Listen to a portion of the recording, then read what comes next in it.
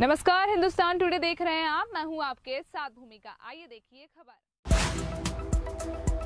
डबरा, पैंतीस सौ भितरवार बयालीस जोन अनुभागों में सतहत्तर टीकाकरण केंद्र और 10 मोबाइल वैन के माध्यम से बीस हज़ार नौ सौ वैक्सीनेशन लगाए जाने का लक्ष्य निर्धारित किया। डबरा में गल्ला कृषि उपज मंडी में टीकाकरण की महा शुरुआत की। वहीं वह भितरवार के अलग अलग स्थानों पर एक्टिवेशन सुबह से ही प्रारंभ हुआ। दरअसल प्रदेश में इक्कीस जून से कोरोना टीकाकरण महाअभियान की शुरुआत हो चुकी है। डबरा बिदरवार अनुभाग के 77 केंद्रों पर सुबह से ही केंद्रों पर एक साथ टीके लगाए जाने की शुरुआत हो चुकी है। इसी तारतम्य में डबरा एसडीएम प्रदीप शर्मा के द्वारा वैक्सीनेशन शिविर का शुभारंभ किया गया। संवाददाता डबरा से सुनील सिंह रजावत की रिपोर्ट।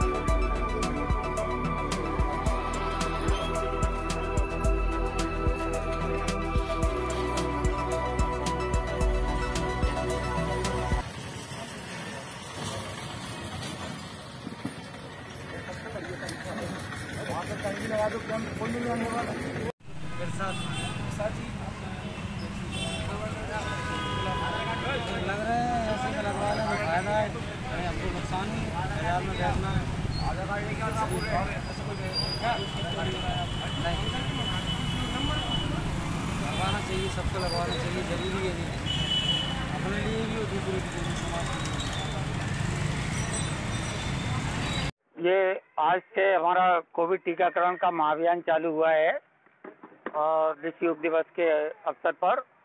और आज अपना डबरा ब्लॉक में पैंतीस स्थायी टीमें हैं और दस मोबाइल टीमें हैं। और आज का जो टीकाकरण है ये सुबह सात बजे से प्रारंभ किया जा रहा है। और इसमें सभी जगह वैक्सीन पहुँच गई है टीम पहुँच गई है और ये कार्य स्टार्ट हो गया है। कार्यकर्ता ही हिस्सा ले रहे हैं? बिल्कुल यहाँ पार्टी ने जो तय किया है हर मंडल पर दो दो स्थान पर हमने योग दिवस मनाया है। आज डबरा नगर का योग दिवस इस स्थान पर मनाया है। इसमें हमारे मध्य प्रदेश के प्रशिक्षित योग शिक्षक जयदयाल शर्मा जी ने हमें आज योग के बारे में बताया। हम सब भारतीय जनता पार्टी के कार्यकर्ताओं ने जो योग दिवस विश्व में मनाया जा रहा है, उसके लिए मोदी जी को धन्यवाद दिया। आज एक महत्वपूर्ण कार्यक्रम और पार्टी ने हाथ में लिया है कि आज हर बूथ पर वैक्सीनेशन का काम किया जा रहा है।